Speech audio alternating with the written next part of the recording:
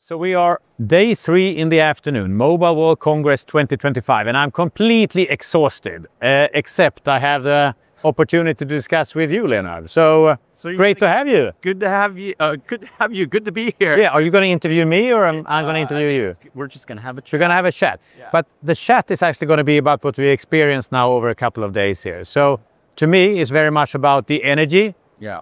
the growth opportunities. It's not so much about new technology this time. It's about down to earth, perhaps business, business models. In some cases, also about leveraging the things that we've had, at least in the leading customers, the leading operator network for some time.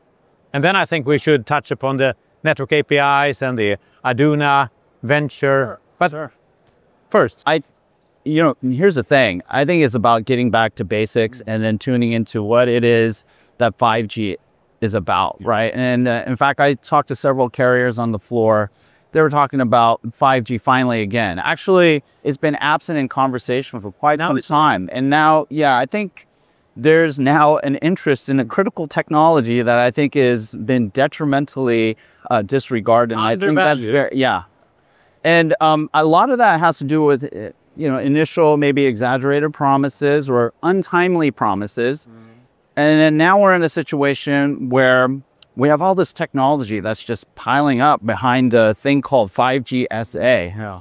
And um, we're also in a different time, right? I mean, we have a lot more handsets out there very true. that are 5G capable. We didn't have that before. And so this is a whole new opportunity and frontier for operators to revisit the 5G opportunity and then really reevaluate, well, what does it mean for us to invest in making the 5G exit? And I think there's a lot of reevaluation going on here. So one thing is that some operators in the lead markets, lead investments, they are really benefiting from 5G in the consumer space. There's no doubt it's a success actually in, in those leading markets. But if you go to other cases, enterprises is coming online now, homes like fixed wireless access Yeah. Is a booming business, it's growing as a fast as access technology. Yeah, it's great. And you see it in the mission critical public safety, you see it even in defense. Now is really the time to see that 5G with standalone capability is that vehicle to create new business growth. Yeah. So I think that's really what we try to show here, and you'll be the judge of it. But uh, switching to the topic of network APIs, and if this programmability Yeah. is going to be used by anyone outside of our industry, we have to simplify. We have to make it available. We have to make it clear that a number of development platforms, Ericsson's Vonage platform, but also other development platforms, they are able to create services basically everywhere in the world Right. and independent of which operator the user is using for the moment. Absolutely. And that's really where the Aduna enterprise or the Aduna venture comes in. So what's your take? How, how are we doing on that? Can I Gathering tell you- speed? Can I tell you that you missed out on something?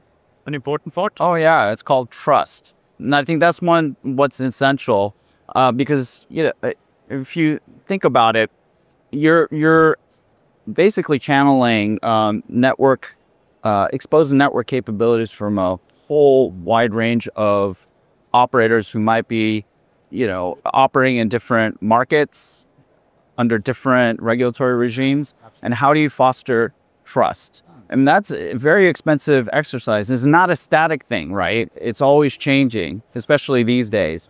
And so how do you orchestrate and manage that ensure that consent and uh, regulatory policies security policies trust policies are instituted so that the developer doesn't have to think about any of that stuff?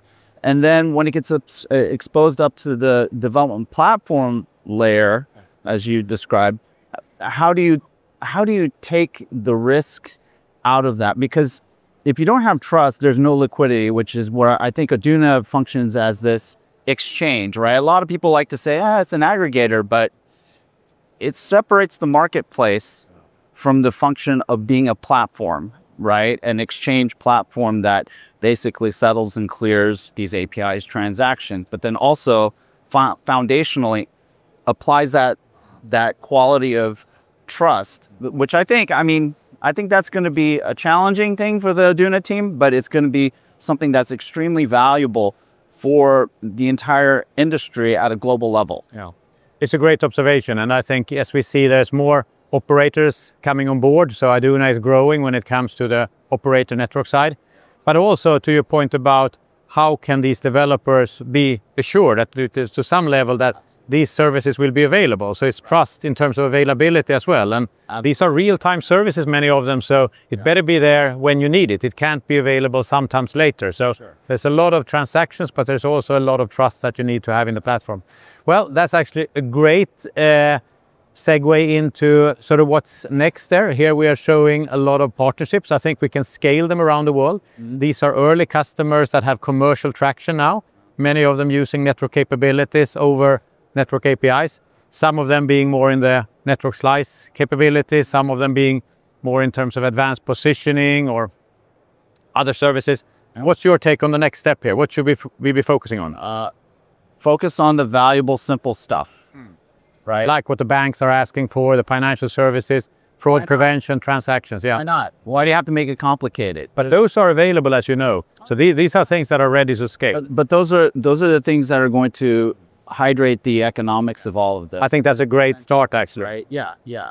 And you know, um, once you have more participating operators coming in with more of the 5G SA, like uh, more advanced five, or uh, let's call it just true, you know, I don't want to call it true 5G, but yeah, real 5G capabilities and features, then it's just going to Yeah.